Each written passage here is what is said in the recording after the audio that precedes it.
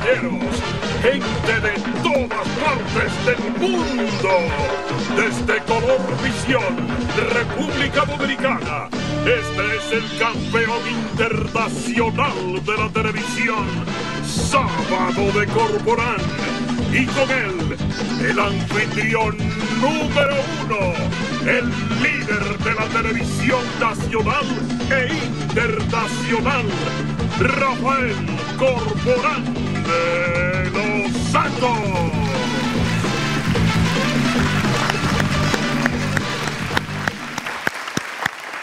Vaya como arrancamos. Ahí está nuestro querido Santanita, quien agradecemos sobremanera que diga presente eh, en este humilde homenaje que hemos querido hacerle a uno de los más grandes de la televisión dominicana de todos los tiempos y también un hombre que se dedicó al ejercicio de la solidaridad durante toda su vida. Nuestro querido Rafael Corporán de los Santos. Sí. Esto a propósito de que el pasado día 5 de marzo se conmemoró el noveno aniversario de su fallecimiento. Y por supuesto, eh, nadie mejor que sus hijos, su descendencia, quienes pueden eh, testimoniar mucho y más allá de lo que fue la figura de la televisión, el hombre tan querido, el hombre tan conocido. La bienvenida a mi queridísima Cristian Corporán y a Ángel Luis, que ya está un señor mayor. Yo se lo dije, ustedes son los que se están poniendo viejos, porque nosotros estamos iguales. No ha pasado el tiempo. Qué bueno tenerlos aquí. ¿Qué, ¿qué sienten ustedes en este mismo estudio? Desde aquí era. Regresar aquí y, y regresar con la satisfacción Totalmente. de que como siempre ha sido un ser que ha trascendido, como siempre se sigue queriendo. Sí. eh, para mí ha sido eh, una experiencia que nueva. Tenía nueve años que no pisaba Color Visión. Eh, y ver su nombre en la puerta, eh, entrar al estudio, me emociona. Eh, es un recuerdo constante, papi está constantemente en mi pensamiento, en mi recuerdo. Es como que la vida se delineó alrededor de él. Entonces, eh, esto es mucho hoy para mí, la verdad. Y te lo agradezco sobremanera, cariño. Yo sé que es una experiencia eh, fuerte, eh, difícil, pero lo hacemos con la mejor intención. Son lágrimas de felicidad. Yo lo sé, recordando lo es bonito. difícil hablar, pero sí, son lágrimas de felicidad. Eh, es recordar el esfuerzo, recordar su tenacidad. Yo le cuento a mis hijos constantemente anécdotas de, de- de cosas que, que él hizo aún antes de comenzar. Cuando en estos días caminando con mi hijo por la mañana le decía, tu abuelo cuando vendía billete y quiniela pensando en que venía para acá, le decía, él iba por los callejones y en la madrugada le decía a la gente, mira, tal número, como que le decía el número, lo susurraba y la gente al otro Ay, día. no lo puedo creer. Entonces él pasaba con eh, tal número, el 25, 25, los- y la gente, yo me soñé con ese número. Entonces él siempre fue una persona muy hábil, muy, muy, Muy de- creativa creativo. también, Dios Eh, mío. sí, definitivamente. Entonces, eh, sí, Ángel Luis. Esa era- esas eran sus ocurrencias, ¿eh? Eh, propias, Eh. Constantes. Pero ven acá, todas esas expresiones de, ay, to- todas las expresiones de Rafaelito que se recuerdan y se recordarán por siempre, ¿eran cosas que él las escribía como para usarlas en el programa o tu papá Bueno. era así? Bueno. 24-7, Bueno. cuéntame. Sí te aseguro que eso era 24/7 porque recuerdo una vez que yo dormía con él, estaba durmiendo con él y se levantó literal a las 3 de la mañana como que se estaba conduciendo el programa. Y yo lo miré como que... ¿Y entonces? Sí, y entonces. Pero sí, ese era él. Era una persona muy diferente, muy creativo. Era una persona que simplemente se llenaba con ayudar a los demás. Y ese era él. Dio tanto que se quedó sin nada. Pero yo creo que no está de más seguir el legado de Corporán y que muchos jóvenes como yo y muchos jóvenes eh, conozcan la historia de Corporán. ¿Quién fue don Rafael Corporán de los Santos, Cristian? Eh, fue un emprendedor para su tiempo. Él no tenía límites, no tenía miedo, nada lo amedrentaba y él era la persona que le salía a encontrarse a la situación. Él no esperaba que la situación llegara. Si había algo que estaba sucediendo, había que darle el frente. Él es esa persona que, que constantemente necesitaba cambios, no, no, no podía soportar la rutina. Yo creo que esas fueron de las cosas que hicieron a Sábado de Corporán, Sábado de Corporán. Eh, y no sé, Dios lo dotó de, de dones especiales para él eh, poder hacer todo lo que hizo. Eh, su entrega fue tal, como decía Ángel Luis al principio, que lo dio todo. Todo. Yo fui testigo eh, de, de muchas veces que eso Pero luego hubo mucha gente, Cristian, que se aprovechó de eso. hubo de mucha su gente bondad. que se aprovechó.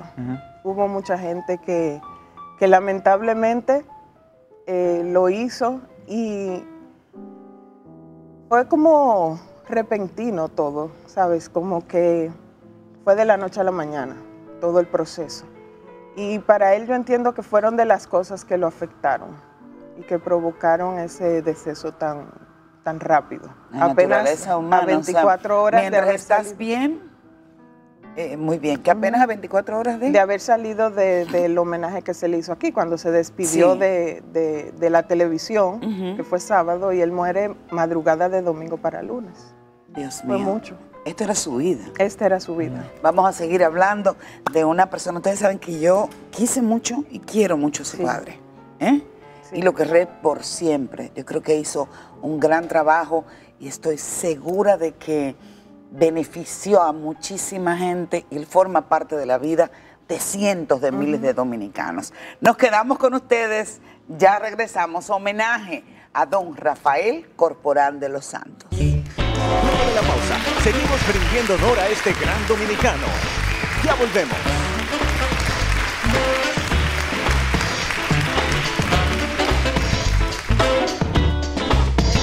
Este gran homenaje en esta noche a Rafael Corporán de los Santos. Adelante. Gracias, mi querido Bambán. Cristian, tú trabajaste con tu papá. Sí. O sea que la vena artística Sí, la, y- la comunicación está. eh, está, y tú también.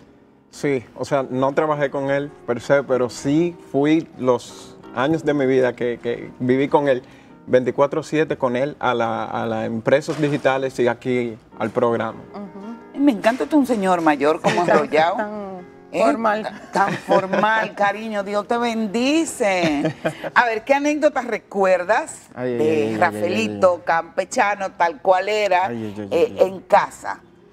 Porque ya lo, lo de cara al público Sí, lo conoce sí, todo sí, el mundo. A ver. Yo recuerdo una vez que íbamos saliendo de empresas digitales hacia la casa. Recuerdo que ese día estaba lloviendo mucho, mucho. Y recuerdo que nos íbamos a parar a echar gasolina, combustible. Y había un señor eh, en ese mismo eh, bomba de, de combustible que le, pi- le pidió a mi, a mi papá dos mil pesos. Pues esos dos mil pesos eran los del combustible. Pues él Ah. se lo dio al, al- al señor. Y ese era él, ese era él. ¿Y se Entonces nosotros... sin gasolina en la calle? Sí, sí, para la casa ahí. En reserva. A poder llegar a Pero ese era él. Pero yo, Ese era "Ajá, él, es papi, verdad. Pero ¿cómo tú vas a, a darle ese dinero a ese hombre? Pero me dijo, bueno, así estaba yo. Ay, Dios mío. Sí, porque hizo de Yo vengo todo. de o ahí, sea, sí. vendía los billetes, pero fue también limpiabotas. ¿Qué Sí. otro oficio? Él cargó sacos en la manicera. Es decir, fue mucho. Él, eh, desde niño él se encargó de su familia y proveyó para su mamá y sus hermanos. Entonces, eh, él aprendió el trabajo y eso fue lo que hizo hasta el final. Y, eso de darlo llevaba en la sangre. Eh, comentamos aquí con pena, con mucha tristeza de, de lo que se da lamentablemente de la traición o de ser amigos solamente en las buenas. Y cuando comenzó todo su proceso, pues eh, ver cómo muchos se alejaban. Sin embargo, que cosechó con esa luz que prodigaba y con esa bondad. Buenos amigos, por eso yo quiero compartir este mensaje que recibimos de nuestro querido Sergio Vargas, hablando de, de tu padre, de don Rafael. Hola, estoy aquí para referirme a Rafael Corporán de los Santos. Ese sí era que practicó aquello de que el que vive para servir, sirve para vivir. Lo conocí en aquellos años en que era uno de los empresarios de la comunicación más rico de la República Dominicana. Y estuve con él hasta su último minuto de vida, cuando también no le quedaba un peso arriba. A uno de mis personajes preferidos de la República Dominicana, Rafael Corporal de los Santos, que en paz descanse. Comparto la imagen de él con todos ustedes. ¡Ay! ¡Qué bello! Pero aquí lo estamos recordando, honrando su memoria y honrando, honrando su legado. Otro de sus pupilos, mi queridísimo Domingo Bautista, con sus colores. A ver qué mensaje nos manda. Recién llegado nosotros a la ciudad de Santo Domingo, allá por los años 70, me encontré con este gran fenómeno de la radio dominicana que lo representaba Rafael Corporán de los Santos. Un locutor fuera de serie en sus características, con una gran espontaneidad en el trabajo y con una gran originalidad. Y definitivamente un ejemplo a seguir en términos de lo que fue su crecimiento, su desarrollo, su superación como persona, como ente social, como ente político y como ente empresarial porque también fue un radiodifusor exitoso. Señores, para mí de manera particular, que recibí el privilegio de su amistad y de un trato siempre cordial, me resulta más que satisfactorio poder dar un testimonio de esta figura grandiosa de Corporán de los Santos. Para él todo el respeto y la admiración de parte nuestra y yo diría que de la República Dominicana por completo qué emoción, ¿eh? Cuando ustedes escuchan hablar de su papá, de, Totalmente. de su papá. Hay política que desata pasiones. Rafaelito, una persona de la televisión, que claro, siempre estamos sometidos a críticas porque no estamos llamados a gustar a todo el mundo. Pero cuando das el paso a la política, eso es una cosa despiadada y feroz. ¿Cómo lo llevaron ustedes eso? Eh? Rafaelito siempre querido, a Rafaelito criticado por muchos. Ya regresamos. Homenaje a Rafael Corporán de los Santos. Derroche de emociones y buenos sentimientos lo que vivimos esta noche en Goyapna. Luego de la pausa, volvemos con más. Rafael Corporán de los Santos. Adelante. Gracias, Bam Bam. Y seguimos aquí con sus dos hijos, pero damos la bienvenida a un queridísimo amigo, un comunicador que yo admiro profundamente. Yo creo que el dueño de Santiago, el Cibao, y zona aledaña, Nelson Javier el Cocodrilo. Gracias, gracias. Grande amigo y que formó parte de la vida de, de Rafaelito y Rafaelito sobre todo formó parte de la tuya y de qué forma. Así es, me enseñó muchísimo. Gracias, Coco Precioso. Antes de entrar contigo, yo dejé una pregunta en el aire que tiene que ver con el tema de la política. Y me encanta conocer la óptica de ustedes, porque no es lo mismo eh, eh, los hijos, que todos lo sufren, igual que los padres sufren todo lo de los hijos, estar ahí en el meollo y de repente de una figura absolutamente querida, ese fuete que trae la política, dicho en términos coloquiales. ¿Qué tal? ¿Cómo les afectó a ustedes como hijos, como familia? Eh, la política fue, yo entiendo que fue una parte de él que él quiso usar para poder ayudar más.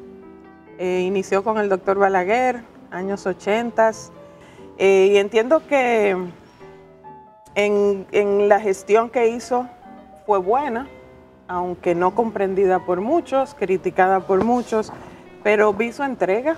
Yo participé de muchas reuniones, participé eh, de muchas experiencias dentro de la política y lo vi como él se entregaba y se daba y se enfermó en el proceso y volvía y se levantaba. Entonces, eh, él solo buscaba, buscaba oportunidades para servir. Aquí un gran amigo. Hablábamos de las traiciones, de cómo se te da la vuelta a la gente cuando no estás bien, de cómo entregó todo Rafaelito Sí, hasta quedar sin nada. así es. Pero tú eres un gran amigo, él era un gran amigo Sí, también. hermano. Y vi en mis notas que me entregaron los muchachos de que te sientes muy bien porque apenas 48 horas antes de su Así. fallecimiento pudiste estar con él y decirle que lo amabas. Amén, así es. Y la noche, la misma noche que don Rafael murió, yo hablé con él por teléfono, creo que seis horas antes. Eh, y su hijo sabe, me recuerdo con mucho amor, me imagino, Cristian ni hablar, que yo siempre iba donde Corporán a cada momento, terminaba el programa y yo era que lo llevaba a la casa ya en los últimos años. Íbamos hablando yo lo comprendía a Corporán hasta con señas. Y cuando hablan de la política, eh, la política engañó a Corporán totalmente. Corporán no encontraba cómo ser facilitador y buscó el camino incorrecto de la política para todas las dádivas que él entregaba y mucho más, hacerlo desde ahí. Pero la cuenta lo, lo traicionó de una forma u otra, él dio de más. Corporán daba de más. Corporán tú necesitabas 20 pesos y él te buscaba 100. Ese era Corporán de los Santos. No fue una ni dos las veces que yo vi a Corporán tener 5 mil pesos en los bolsillos y entregar 10 Como profesional de la comunicación, ¿con qué te quedas de Rafaelito? Me enseñó el negocio. Corporán me enseñó el negocio. O sea, ahora mismo yo venía de camino y estaba hablando con una institución del gobierno y me ofreció una cantidad en la mañana por unas colocaciones de publicidad. Yo le dije que no ahorita. Y me llamó ahora y me dijo que lo que yo dije eso era. Eso yo lo aprendí de él. Corporán no se veía chelear. Corporán le dio credibilidad y prestigio a la comercialización de la televisión. Y eso lo saben sus hijos. ¿Entiendes? Cuando Corporán llegó, si quien era el bastión en ese momento, que ustedes bien conocen y que yo respeto, no voy a mencionar su nombre, vendía la cuña a 7, Corporán llegó a venderla a 14.